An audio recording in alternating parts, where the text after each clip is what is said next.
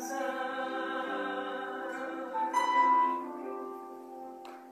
we